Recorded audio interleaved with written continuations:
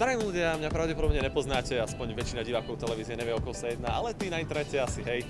Moje meno je Gogo, natáčam videá na YouTube asi skoro 4 roky to budú o chvíľočku a je to hlavne o hraní hier, čo dospelí nechápu, že už tam vôbec ide, pretože majú ten názor, že radšej si hru zarám, ako pozriem niekoho, ako ju hrá. Ale teraz je v mode to, že niekto to komentuje a máte to ako keby taký seriál na internete.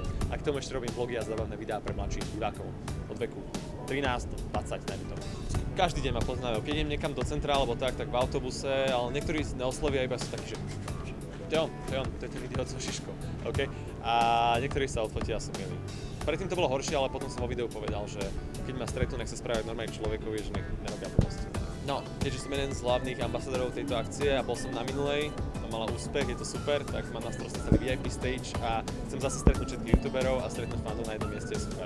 Tento rok je Forfen zatiaľ najlepší, keďže do toho bolo vložených viacej peňazí, máme vytvorený VIP stage, main stage a je to najviac ľudí zatiaľ a je nevýhoda toho, že čím viac ľudí, tým menej sa im môžete venovať, pretože nie čas, ale je to proste super vidieť toľko tvári, ktorí vás sledujú na a povedia vám, že wow, máš super video a pokračuj v tom, tak je to také osobné.